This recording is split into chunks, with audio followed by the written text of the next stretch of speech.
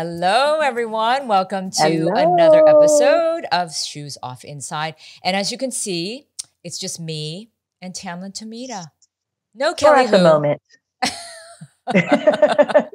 well, this is what happened. So we always schedule our recordings, right, with the three of us. And sometimes it's like herding cats, right, to be it able is, to schedule. It's true. And so we, there's like text messages going back and forth and emails going back and forth. And my intern is trying to, you know, herd us all together. So there was a little bit of a mix up in times today for our recording. So Kelly is frantically trying to get ready, but it's not going to be in time. So we decided. She, that, that, that's the thing. It's like I think she just needs to get her cup of coffee because I'm sure she's the kind that, that just rolls out of the bed, you know, and she just lets her hair down. She goes, "Okay, I'm ready," because you know she she's just so that. beautiful inside and out. Inside, no, but, but it's like what do you? It's like yeah, yeah. She admits that she's not a morning person, and so she yes, as none of us are, as none of us are. And so I was, we were Tamlyn and I were talking before we started recording. It's just like, woo, it's, this is a little bit early. We're I know. Both- How many cups of coffee have you had already? It's like I know. I've had I've had two of these, and I still oh was just God. like I couldn't speak at one point. I'm like yeah. I can't find the words. So yeah. anyway, so forgive us if we seem a little foggy. And again, in Kelly's absence, we're just going to continue because we have a tight schedule today with some Correct. other stuff to do. But um, anyway, so how are you, Tamlyn? Besides being a little groggy in the morning. well, that's why I need a little music sometimes in the kitchen, and it's usually like the '70s Motown or you oh, know nice. '80s pop music, you know, just to get the blood moving. Uh, it, it is it's just that luxury to be able to you know dance around in the morning. I don't have kids; I have pets to take care of, yeah. but again, you know, just get the the rush of blood going into your system. You know what? But uh, hats off to all parents, you know, yeah. uh, in, in, getting the kids out the door oh out to school, and especially during summertime as well. Exactly. But uh, yeah, exactly. how are things with you, Miss Lee? Well, I mean, I was just gonna say, um, I'm I I should take an example from you of listening to fun music in the morning because what do yeah. I do? Of course, I turn on the news immediately. You turn on the news, which is so bad because you're a news junkie, a news. Yeah, I know news, I am, yeah. but it's so bad to start the day. I don't know why I do that. And when I do it, I consciously say, uh, like, think, why are you turning on the news first thing in the morning? I know first thing in the bad. morning, yeah, and but yeah. and yet yeah, I because it. it's, it's just terrible. it's those drugs of information, you know, that that that settles into you. But again, you know, like everything, we all need to find balance. We need to find that it's true. you know that area of life where you can just go in to and indulge and, and just feel a little better, feel a little bit more goofy or, you know, like a doofus kind of thing. So it, it's, it's, but yeah, I, I agree with you. It's like the constant uh, diet of news and information because we want to be informed. We want to know what's happening in the world. Yeah. We want to know what's next. Yep. It is is addicting, but you, we do have to counter it with some yeah, with some kind of ice cream dessert of you know, uh, I know, I whatever know. it is that turns you on. And it's it's like to counter the shit show that seems to be every day. So uh, yeah, yeah, yeah, yeah, I know. I, not, not to bring this conversation down, but it is. So yes, you're right. Finding the balance for sure. So how else am I doing? I, I'm I'm a, I, I, I'm a little stressed because I don't know if a lot of our listeners or viewers know, but I've been an uh, adjunct um, at USC for since 2018, teaching journalism, yes. right? And so, but I was hired by Chapman yes. University to go full time. Now, that's not saying that I'm going to let go of like my media stuff, like this show. Of course, I'm going to continue the work, but I'm going to be a full time professor at Chapman University, and we start at the end of August, and I'm kind of stressed out yeah. because load. of the topics that you're or the subjects that you're going to be teaching because it's super interesting how you're going to be transitioning yeah. Yeah. I mean it's from in this world of journalism. Well right now what we're talking about is traditional media versus new media right? Multimedia right. and social media and digital media. And so it's a lot to take on to try to teach these young minds um, mm-hmm. And I'm going to be teaching undergrads, all undergrads this time. At USC, it was a combination of graduate students and undergrad. Oh, okay. I didn't know the difference. I forgot yeah. about that. Yes. Right. Okay. At okay. Chapman, they don't have a graduate program for journalism. They, it's just undergrad. Uh, okay. And so, you know, I mean, these are much younger students uh, who right. may not right. really know exactly what they're doing or if they even want to go into journalism or something else. So because news is changing. I mean, we're all talking about news. What is news? What is fake news? Disinformation, exactly. misinformation, facts versus truth, alternative facts. Right. So I, am sure they have a lot to digest, but you know, yeah. they have a, a, wealth of information as to what what is scaring you about the the um, the know, subject matter. I think I think it's overwhelming for me on a, couple of fronts. One is the load. The course load is much heavier for me than than as an adjunct. An adjunct as is part time, right, right, right. Right. I mm-hmm. mean, we don't teach mm-hmm. that many classes. When you're full time, it's it's a full load of like three yeah. or four courses a semester. Um, right. And then the second thing is, I'm such a perfectionist that I'm walking into this going, okay, I want to improve and elevate these courses. And so I'm, you know, instead of just gliding in, um, right. I'm saying, oh, I need to like make this syllabus stronger and I want to, you know, create you know, sort of stronger program and this and that. I mean, it's just, you know, I mean, this is typical of what I do. So of I how you, to, uh, of how yeah. you do it because, you know, you're building a story, you introduce it, you yeah. elucidate all the points, you know, and then you come up to a yeah. conclusion and, or, or the, the, the, takeaway, as they say. Here's actually the major responsibility that I feel, and this is this is the way I teach. I care so much about the students paying so much money. Their parents are, or or you know, they're getting a grant or school. I really do. I care so much about how much tuition is costing that yes. I feel responsible. They better get a fucking good education. Yeah, and I'm yeah. going There's something about yeah, yeah, yeah. And I take responsibility, and I know some educators really don't but I really do. I could give it's a, a paycheck. You know, yeah. what are you delivering? No, what are you? What is, what, what is your legacy? I'm yeah. what is your legacy in terms out, of? And I'm not just saying whatever. You know, I really care uh, about what yeah. the student is going to walk away from. And so that that's a heavy responsibility because you know these are people. You're these are young minds you're dealing with. This is not yeah, like, yeah. But, but what what you're doing is is you're actually practicing and exercising what the word you know what, what we were talking about before is about ethics. Yeah. You know, and what is truth and what do you want to pass along right. to better you know the the the next generation the ones who are following behind us. And that's and it's, it's something that you care about because it's the it's the world that you're leaving behind. And right. it, it just goes goes hand in hand as to how they can pick up these tools that you've been using for all these years and how to best use them for the benefit of all of us and yeah. not just a, a paycheck. So come on let's get down to brass tacks. It's you know it's not sincere you know sincerely just gliding in. You really care about what you're leaving behind. I so do. kudos to you, Ms. Lee. Yeah, it's like, yeah. It's stressing yeah. me out though. I'm getting more gray hairs because of it. I'm just but it's beautiful. It's you know, the silver sisters. It's like it's, exactly. It, and it's shining and it's reflecting light. Exactly. So you know you don't need. A, oh yeah, gosh. Well, eh, so speaking of balance, because I'm so stressed out about like the real world and you know this new job. Um, sometimes we need the escape right? Like yes. you're saying, through music and through entertainment, yes. things like that. And so this episode, we have a very special guest, and yes, that is do. Helen Park, who Yay. was the composer of K-pop, the Broadway show, all about K-pop, uh, um, obviously. Um, and so she wa- was the first Asian American woman to be nominated for a Tony Award. For a Tony Award, yes. Um, for composing composing right? yeah and that is a big deal right yeah i mean that's that's one of the toughest categories because as we know broadway is a lot about musicals and songwriting and composing and it's about money and it's about, it's money. about money. the story yeah about yeah. the story yeah so yeah. we d- decided to talk to helen um, and uh, we recorded this uh, episode right after the tony awards and so, she, unfortunately, that's right. Two days after, yeah, that's right. She did not win, but we didn't give a shit because the fact that she was nominated at she's only 37 yes yeah um and and the peerage that she has you know yes. in terms of all the the better known broadway hits as they say right, right. as as how she was mentored and how she looks forward to collaborating and working. And she has a bona fide name out there that people know about yeah. and are excited to work alongside with. And that's that's that's i mean the fact that uh, she is now representing as as we know, um, and um, maybe some of the folks who are listening right now or watching may not know, K-pop unfortunately closed very quickly after it opened. It uh, closed after two weeks, and so right. it was a, right. you know, it was it was a financial issue, it was a marketing issue, it was several different things. But I was very fortunate to see it before it closed, not knowing it was going to close.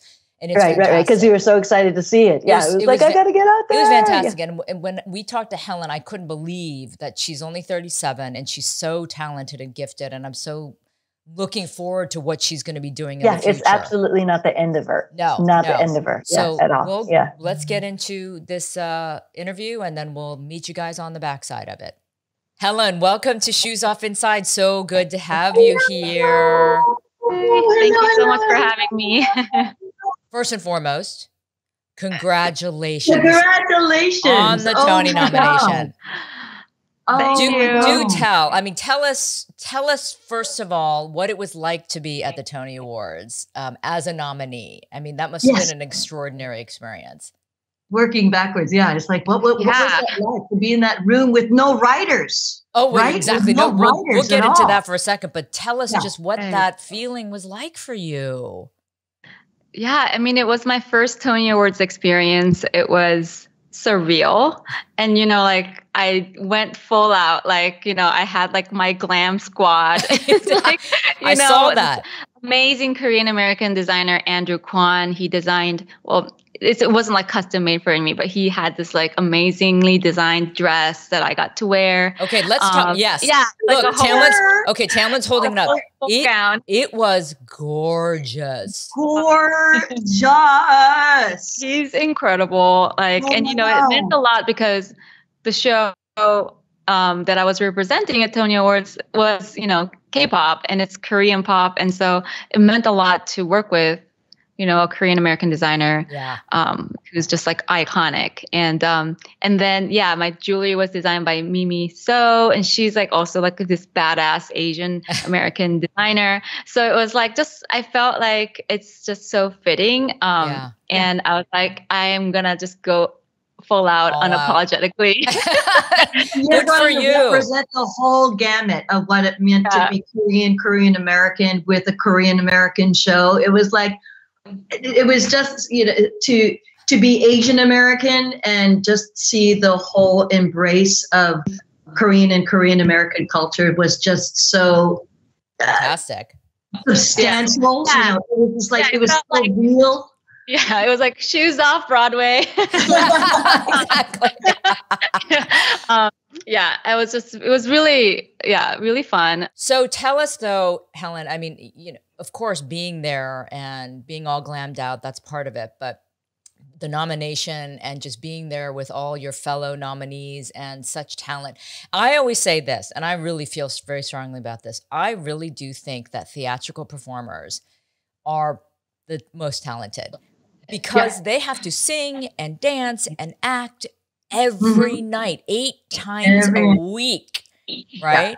Yeah. That is yeah. that is an extraordinary feat. And then someone like you who composes an entire musical. I don't even know how you do that. So Yeah. again, t- describe the feeling of being there with all of these other very talented people uh, honoring each other in, in the way that you do in the t- at the Tonys.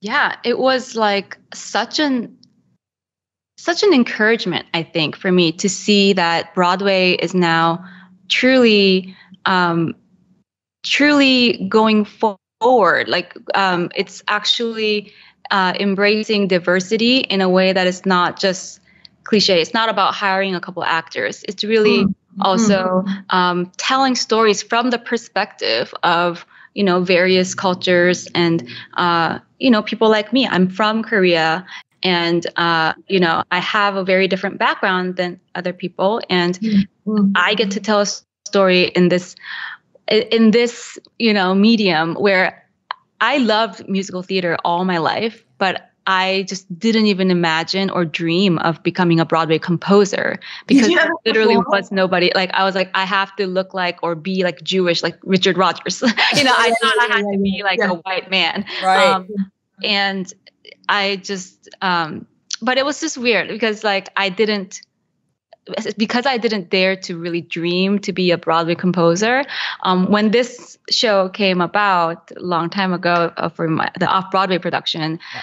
this wasn't really my goal. My goal was to like honor my culture, and somehow that sort of led um, led to this um, ultimately. And um, yeah, I just was very very encouraged and and honored. Um, and you know, it was really a whole full circle moment because uh, I used to work as music assistant to the composer Tom Kitt um, uh, back in 2013. So from 2013 to 2016, I actually worked for Tom Kitt on various projects, starting with If Then and um, some mm. workshops of like SpongeBob and uh, and uh, yeah, he was also a fellow nominee on this in this Tony oh Awards.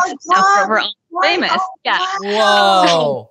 And I sat behind him, and you know, just like, and he's such a great supporter of mine. Like he's so proud of me, and oh yeah, that's gosh. one of the things he said to me during the awards. He was like, "I'm I'm so proud of you." Oh my gosh! And yeah, it was like such a special moment, and just to be alongside Tom yeah. Kitt yeah. and uh, Jeanine Tesori and um, you yeah. know everyone. Like I just I have such respect for them. Yeah. I, I think what's also special is that you're a woman, you're a young woman, you're a Korean American woman. You're wearing all those, you know, medals and badges and go, here I am representing all of us. But then, you know, the, the check-in for you must be, and I'm Helen Park you know the the idea it's like we're just so proud. Yeah. We're just so proud. absolutely. Yeah. Yeah. Helen um, yeah. you brought up the representation um, aspect mm-hmm. which um, i noticed when i was watching the tony awards. It was like wow look at all the diversity on stage the performers right? the nominees. But let me ask you this and i i, it, I have to say i i also noticed this. Um, really none of the only a few of the winners were people of color even though some of the categories it was like one white actor and then three or four, you know, African American nominees. It, I don't know. Did you notice that during the ceremony? Did anybody else talk about that, or was that something that was not really, you know, kind of touched upon?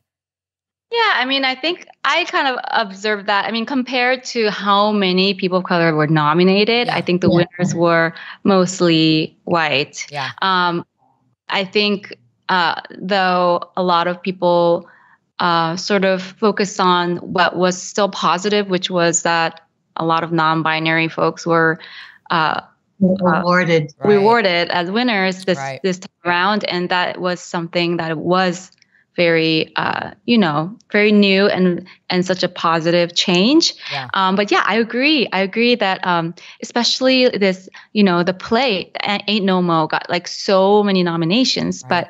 but you know but here's the thing. I think uh, you know our show k-pop ran for a really short amount of, of time like after opening it closed um, after only 14 performances. And um, or 17 performances. And Helen, and, uh, I saw one of them.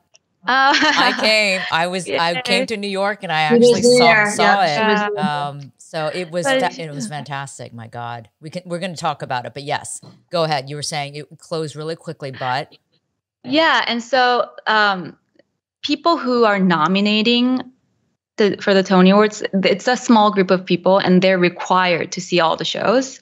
Yep. Um, Yep. You know, obviously, like you have to see all the shows in order to like, you know, fairly Vote. nominate. Uh, yeah.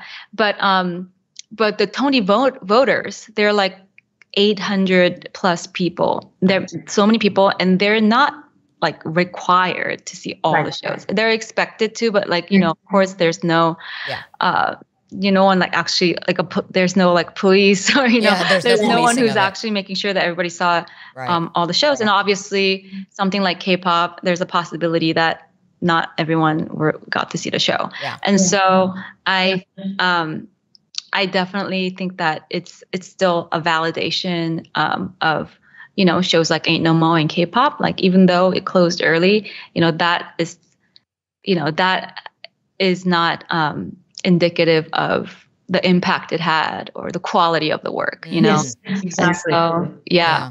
yeah. yeah you could take pride in the in the life that it did have on broadway and beyond and that it yes. got that kind of recognition and that kind of word of mouth that it passed around to to folks to you know, to see the ability to tell these kinds of stories on you know the great white way yeah, and exactly. you know, I'm just so sorry that I missed it. I'm just so glad that May got to see it. Oh my god! So let me let me tell you. Okay, let me tell you about my K-pop experience. Yeah, yeah, yeah. Please, please, please. Uh, because I knew Julie Lee, uh, one of the one of the actors in the in the uh, play, but um, I went to see it with my now fiance, who is not Asian.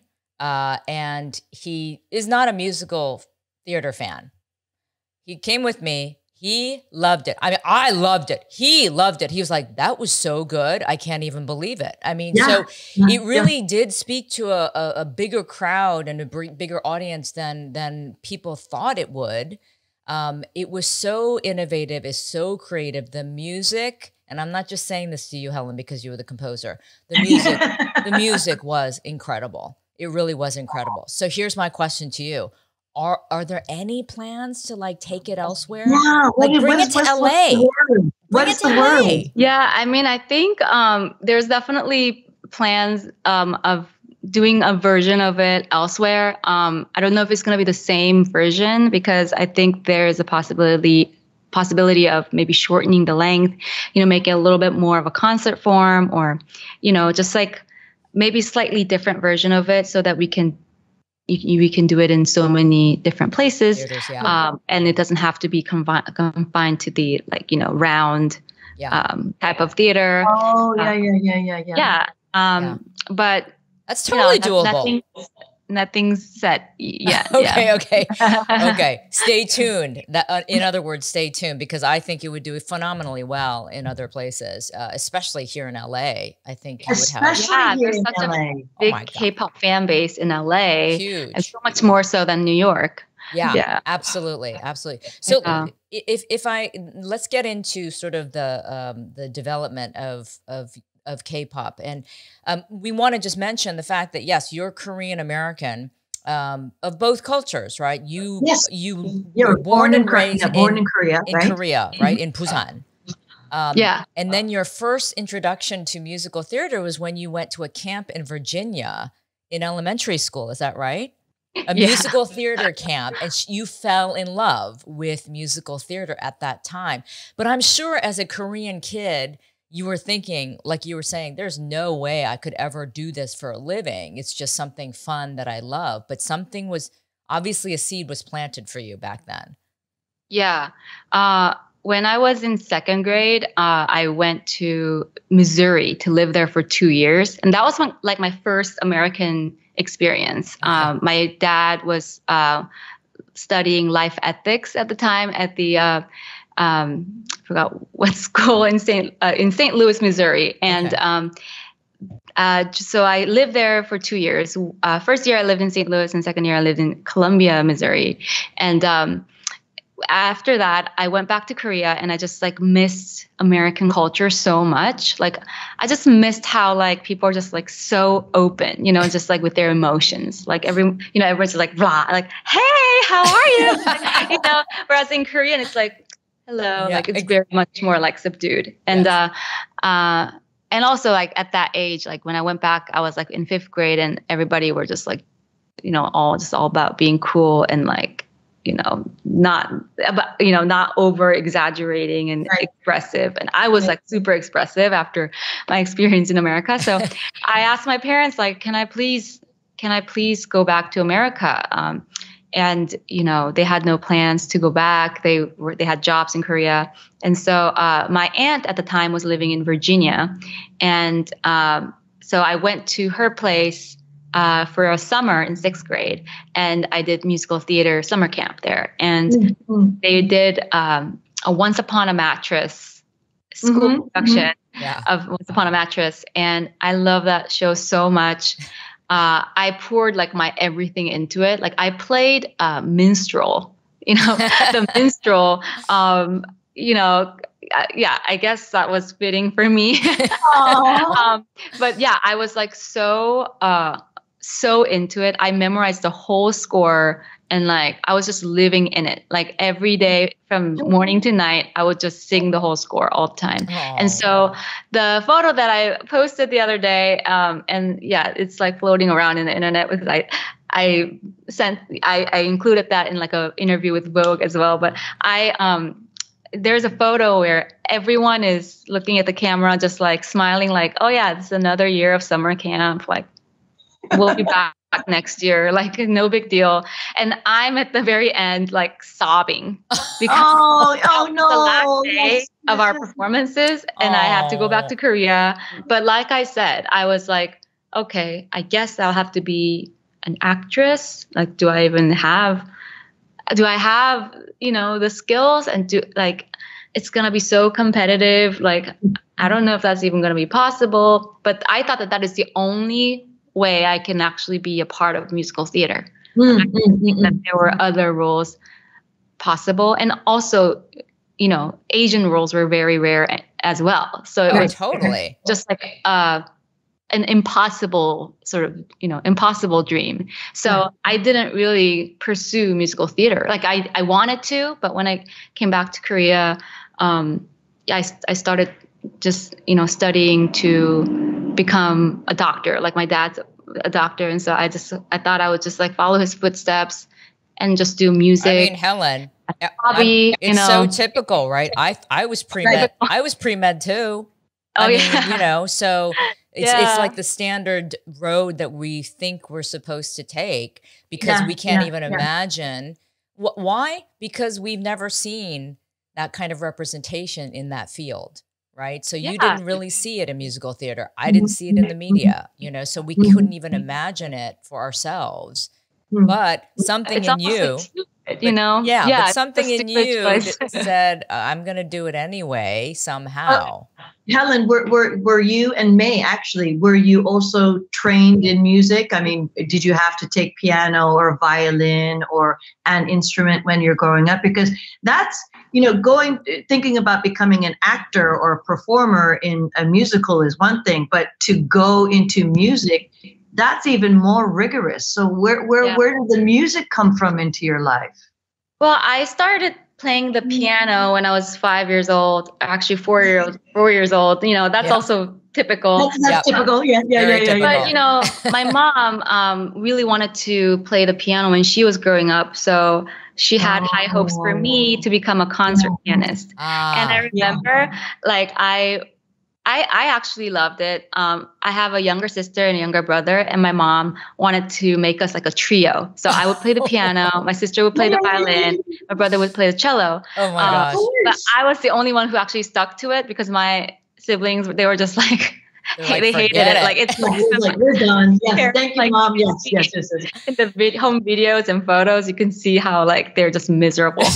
um, but I stuck to it, and when we went to Missouri, that's when my parents were like, I mean, my mom was so, you know, serious about me, you know, going that route. So um, I went on the Missouri state competition. Um, and on the first year that I, I uh, went on that competition, I got third place and my mom was like, "Whoa, okay, she might have something. Like she, she might, might yeah, yeah, yeah, yeah. Um, She's real so it was like really great time. I was like happy. Like after coming back home from the competition, I was like so happy.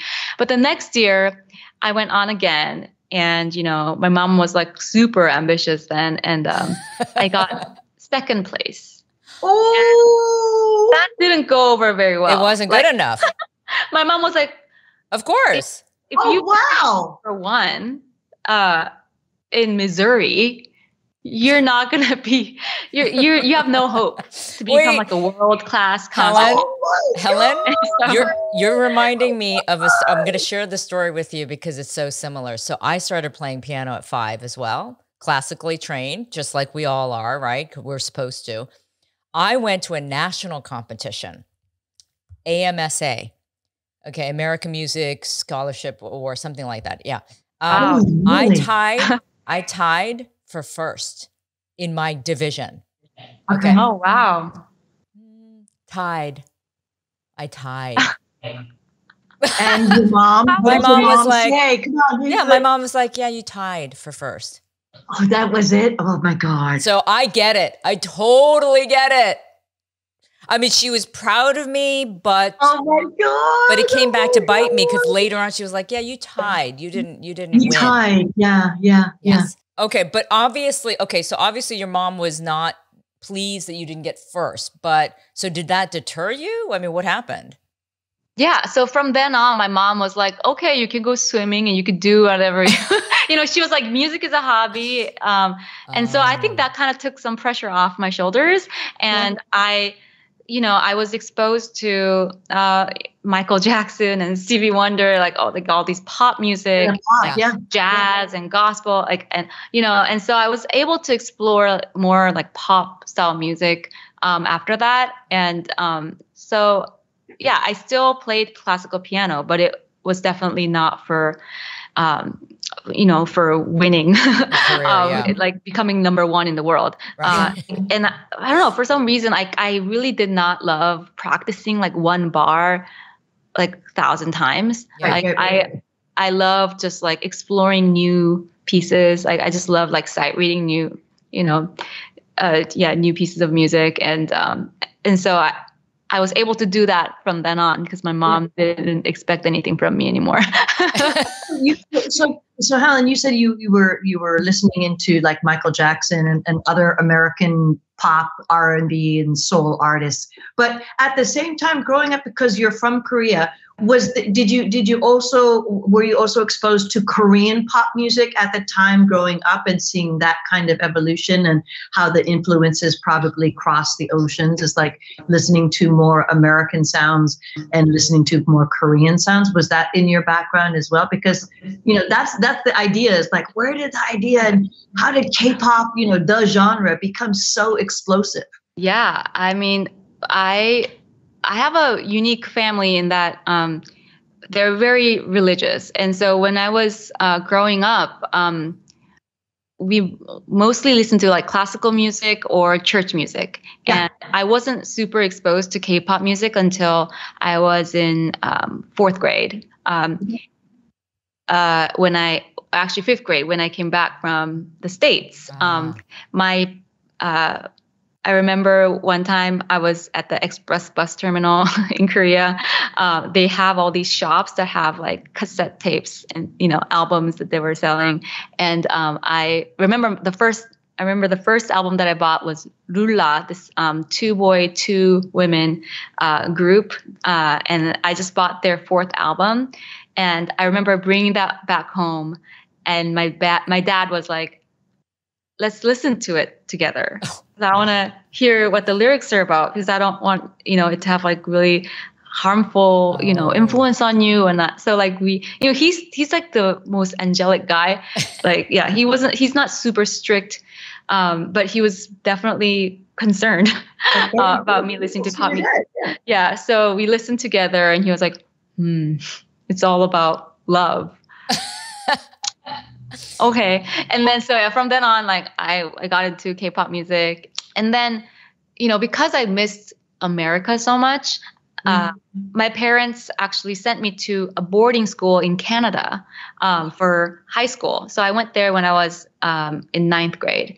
Um, and there, the rules were also very strict. Like you're not yes. supposed to listen to secular music. Right. And um, so what I did was like I brought all these like K-pop albums. Like um you know yeah it was like it was the cd era. So like i had all these like cds that i brought back from brought from korea and i would just listen to them and nobody can say anything nobody because knew. Oh it's my all in korean okay, so they don't know if it's secular or not.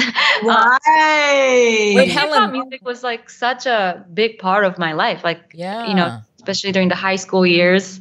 Um, that was like all I listened to, and um, it also reminded me of home, and you know, it, I felt like, like I'm still connected to Korea.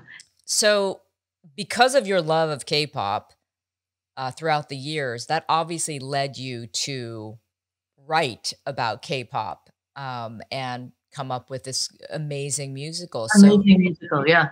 The process of that.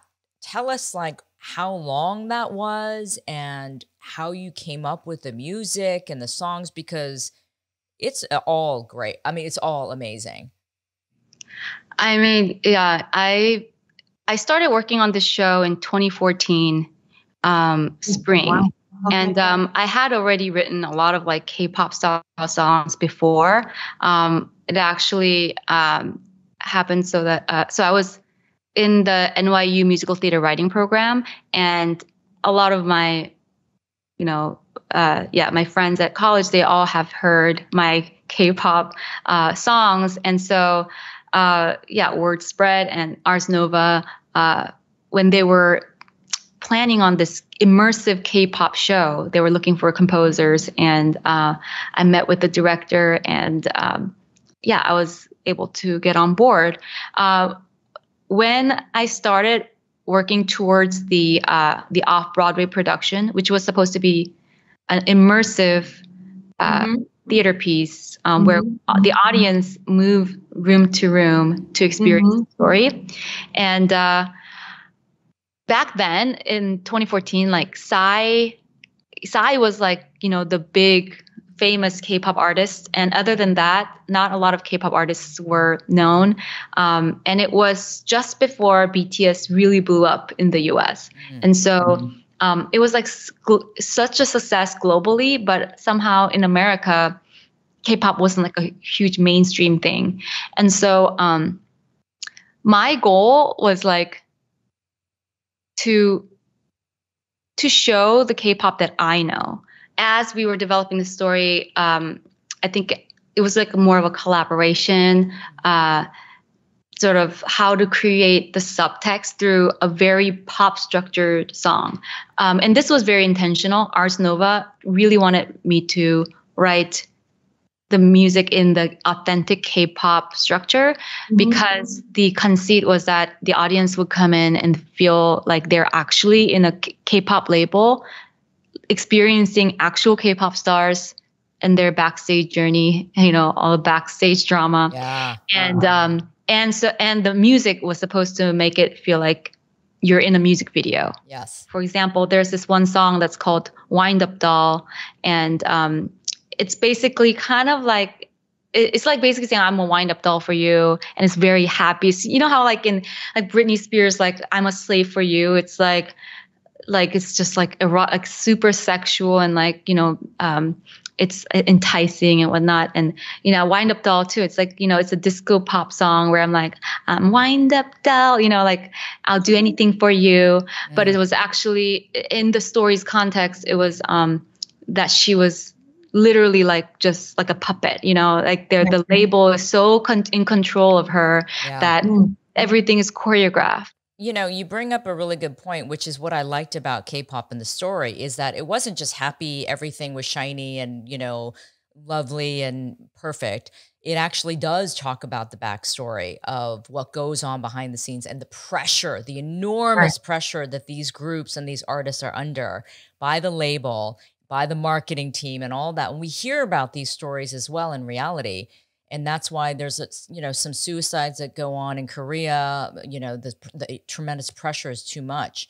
So do you think that that's something that needs to be addressed more in the K-pop world as well as just general entertainment in Korea oh, for wow. sure because that's something that I think people are still struggling with uh, because yeah. of the pressure, right?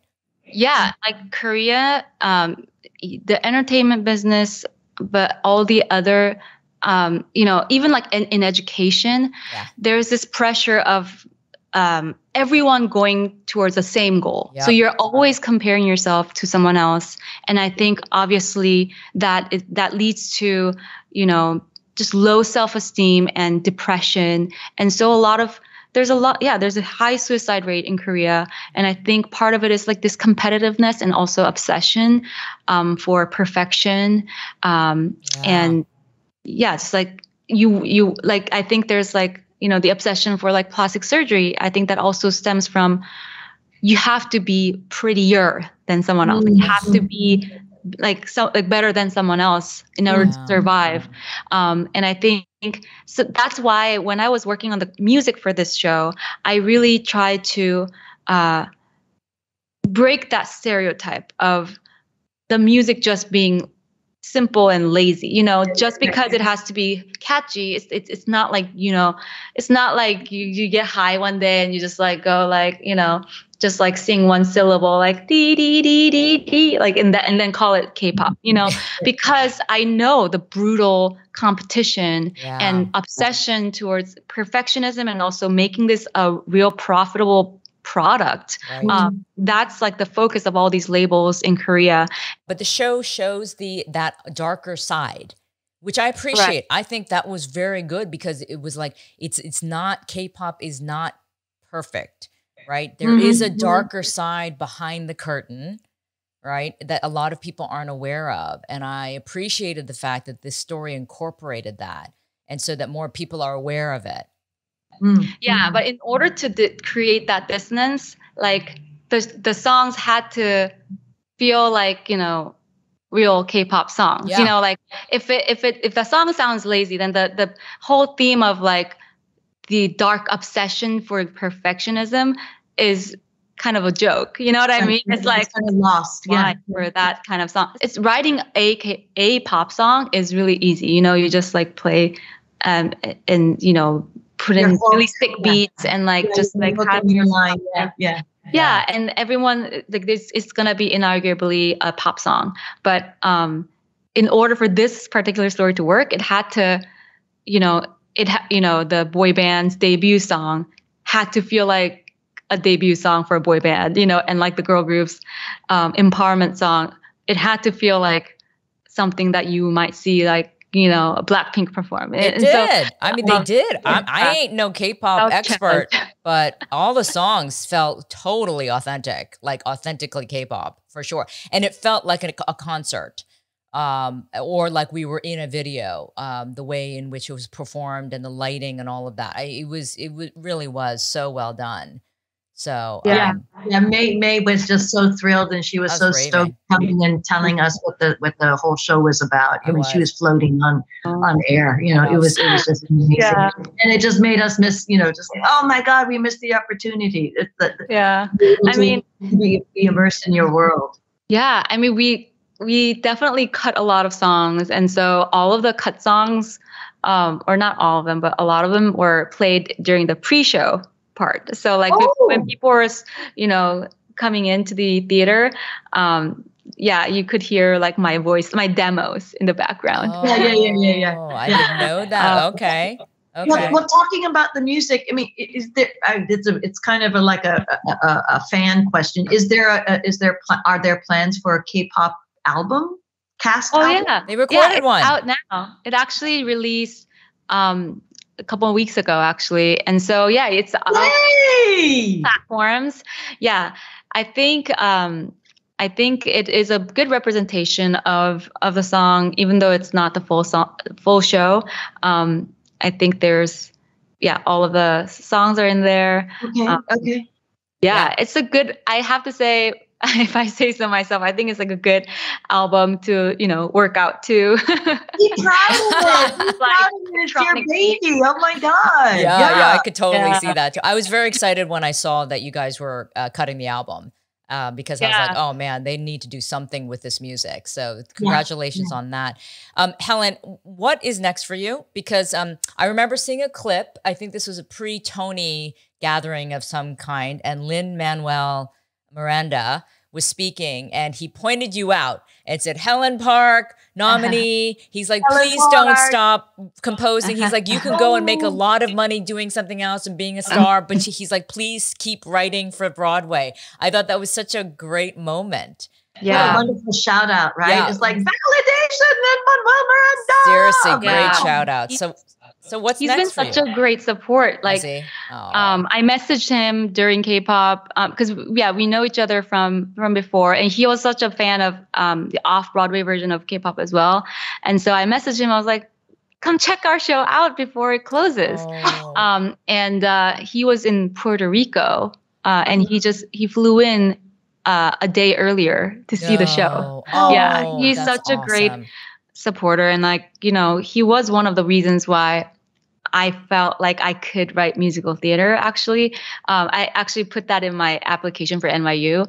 Um, I thought the way that he fused his cultural sound with musical theater structure um, and creating something so unique, like it was, it felt encouraging to me that you know I have all these different backgrounds, musical backgrounds and cultural mm-hmm. backgrounds, mm-hmm. and and you know i don't have to really uh, be self-conscious about that i can actually bring all of that in and make something completely unique and i think Lin-Manuel miranda was like definitely someone who showed me that example yeah. Uh, and so yeah it, that was so special that he um that he gave me that shout out. Yeah. Uh, but yeah, I I'm working on um, a couple of stage productions, but also um, TV and film.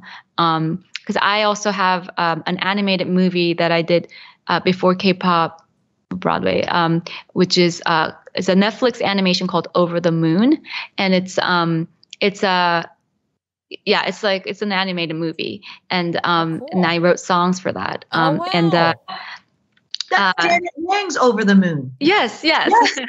Oh my god. Yeah, songs. I and, love uh, that. Yeah, and uh, so that you know opened my eyes um, to uh, you know my love for animation and the process of creating, um, yeah, animated movies and children's, um, you know, children's uh, stories. Because you're a mom of two, so that's yeah, I know that's an automatic avenue for you to go down. Oh my god! Exactly. Okay. Oh, that sounds great. Well, Helen, uh, we're going to wrap this up because you've given us so much of your time, and uh, it's been, it's, uh, you know, we really w- we're looking forward to talking to you about this because it's such a it's such an unusual story, right? We don't hear about a lot of uh, Asian American composers on Broadway. Um, and you really ticked off all the boxes. It's yeah. like great music, great story. You know, the, the, the cast was an amazing cast of American performers of Korean descent. It was like, oh my God, it's like, how can this not,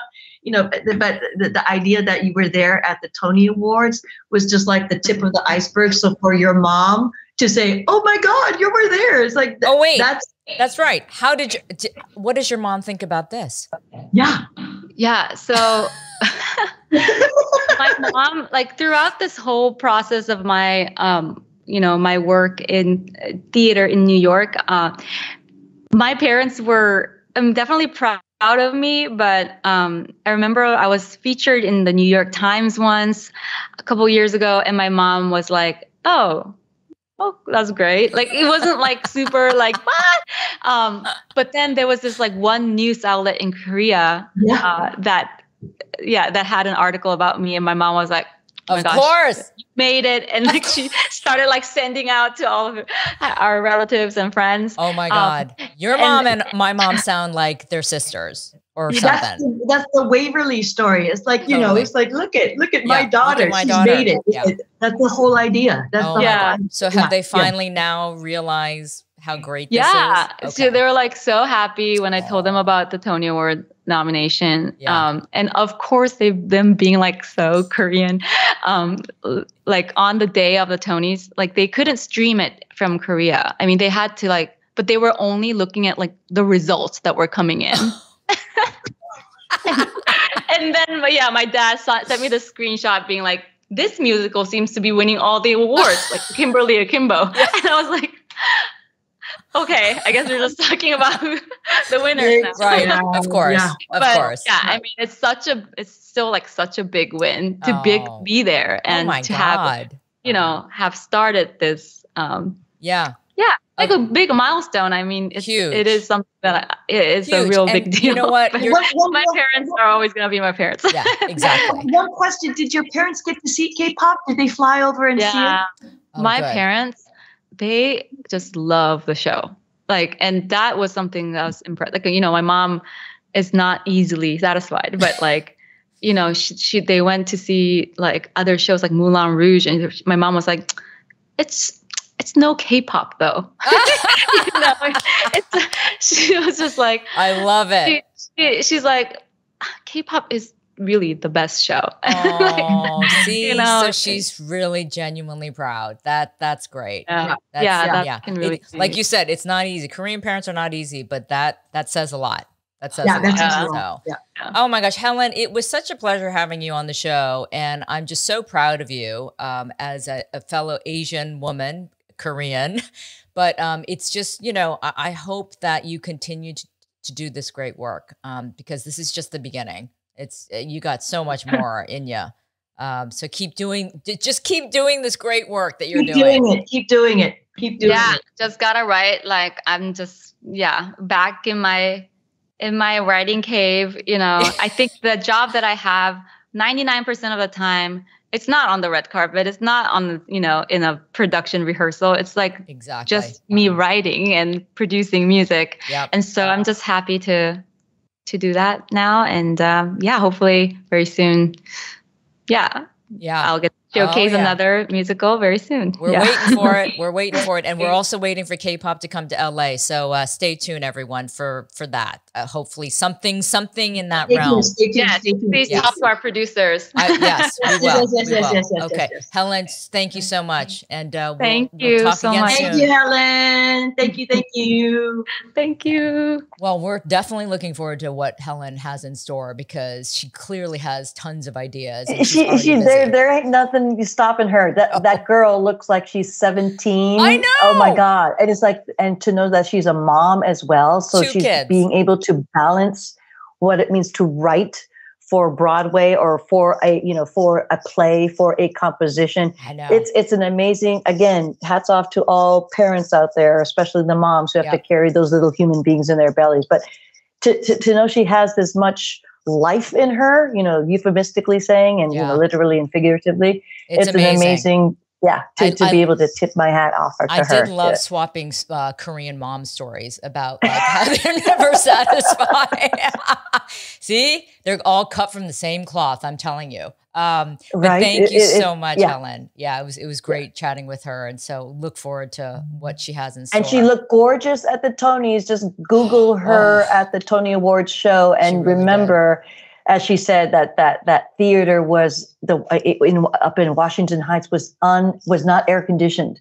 So oh, she's yeah, wearing that beautiful gown buckets. and and sparkling and and just being you know just it, it's just just, just well, being she so had the luminous. dewy look, but it's because there was exactly. No it was like no, it wasn't hundred degrees in there, but yeah. But I, the in the in the pictures of of Helen Park and all the, the other other Broadway luminaries, you know, all in concert together was just a beautiful yeah, thing. No, so, it's, and what a, what a Tony Award show, right? It's like thank goodness for the writer's strike sometimes because just did away with all the exactly. unnecessariness, all the skits, and all the and just focused in on the awards. So. Yeah, exactly, yeah. exactly. So maybe they're onto something.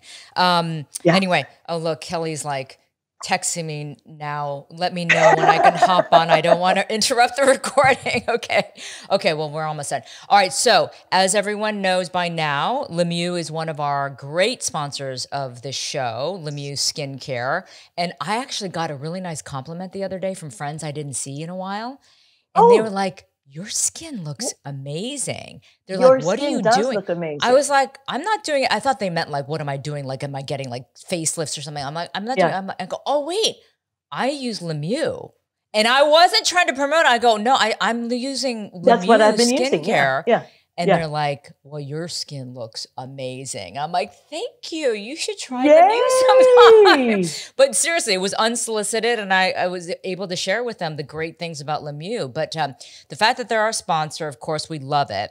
And so we thank always you, want to you, do thank a you, segment. Le Mieux. Yes. You know, about yeah. wellness or about something maybe, you know, that's related to the topic that we were talking about. Well, with Helen, obviously we were talking about creativity and music and you know, all kinds of things that inspire us. So we figured maybe right. this segment we can talk about the ways in which we inspire our own creativity. Well, you know? yeah, also, and again, just just to back up just a, a, couple of steps back, it's like you know the the, the idea that. Uh, as women, we're we're always told to smile a lot, to be, you know, oh, let's see how beautiful you are, and it's like that's kind of a weapon in in in mm. in, in one definition but I think when we give our friends, our persons who we come into daily contact with, just a compliment with meaning yes. is a real boost of confidence. That's true. And it, it's not only for the receiver, but for the uh, for the giver as well to say, "Oh my God, you look good," or you, you're there's something radiating about you today. And I think it doesn't cost anything. That's sometimes so you know it, it, does sound a little uh, a little sexist sometimes, but I, I'd say to to men as well. It's like, oh my God, you're looking very handsome today. It's like it's not an attraction kind of thing. It's just a compliment to that's kind of free. I that's love freeing. that. That's you know freeing what, as well. You're so because, right about that because it, because I, I, do love it. I, I, do I do understand the you know the, the, the ramifications of throwing out compliments that are unsincere, that yeah. are insincere. Right. But when it when something is like, oh wow, May, your hair looks really beautiful today. There's no flyaways. It's just like this beautiful crown of silver. And it, it just, it just, it's just, it makes one feel good and makes yeah. the other feel good. And it's like, that's a really great place to start. Well, so I just wanted what? to mention no, that because I think we should, in terms of wellness, we can help each other feel well. I think we should stay on this because I think you're absolutely right. Even with strangers, if a stranger yeah. says something to you that's really like unexpected and nice, it's it's yeah. like wow, you know, they didn't have to do that. And they I've done that, do that, I've done yeah. that with strangers saying like, "Oh my gosh, I love your glasses," or you know, whatever I notice. Yeah. And you can see the reaction yeah. is like of such surprise because our society now is sort of becoming less and less that way. Yeah. You know, um, yeah. In terms of giving and, you know, just sort of being open with each other. Just freely giving, just yeah. freely giving. I, I, and I understand, of course, you know, if, it, if it, a compliment can go further down the line in a bad way in, in terms of like catcalling or advances. But I think we're savvy enough, but we need to protect those who feel a little bit more vulnerable. Yeah. Absolutely. But yeah if it's if it's just from from a male to a female or the opposite or from a female to another female or male to male male to male that's another thing it's like it's like, bro, yeah, that's a stereotype. But again, it's the power of just being able to give something freely, yeah, and you, you receive something back in return. And I think that's a, that that is a part of wellness. I mean, I know it's complicated and complex, but I just wanted to say that to you because it, I could see it. You know, you you you brought it up because it meant something. It felt like something to you to say, "Oh, your skin looks great," because oh really? It is like let me clap back. It's like I don't know what I've been doing, but I yeah. have been using Le Mieux. It's like, yeah, let's let's let's let's call it out and say thank you. I know for I know. for giving me that chance to say thank you to Le Mieux and and, and to you. You do look oh, uber radiant. Oh, thank you. But no, it's it's so funny how um, though a lot of us have now been conditioned to be so surprised when we get yeah. a compliment or some someone says something nice because we live in a world that is not so nice some uh, oftentimes yeah yeah so yeah, it, it yeah. is sort of like wow why are we so like taken aback saying oh really yeah. oh i don't I, I really no i don't but also yeah. we're, we're we're we're we're supposed to be modest yes. and demure right yeah but then right. it's like wow you really made me feel good it's like yeah you know you really made me feel good you thank you good. and, it, yeah. and it's just gratitude as well, well and it maybe, exercises that okay yeah. maybe this should be our lemieux challenge for this segment is that all of you who are listening and watching today go out and give someone a very simple genuine compliment say yeah, something nice yeah. and see, see it's like your random act of kindness yes, for today exactly yeah. i like that i like that because i think kindness can go so far so far so far yeah and like so you said far. it's free it's free. it's free and it, it, it's freeing you know it, it just really does release just that that that that uh, unexpected sense of joy yeah it's like Exactly. Well, I know, you. I know, exactly. It's really, really nice, even for that moment. Yeah. So, um, yeah. and for those of you who want glowing skin, just try Le Mieux yeah, but thank you, Le Mieux, as always, to, for being our thank sponsor. You, and thank you to everyone for listening and watching this episode. And again, Kelly couldn't join, but you know, don't worry, she'll be on our next episode. So yes. um, until we'll then, on the flip side. Yes, everyone, and remember, subscribe to our YouTube channel. Uh, give us a rating on the podcast platforms wherever you listen to us. Uh, we would appreciate it. So until next time, everyone, see ya. Thank you. See ya. Bye.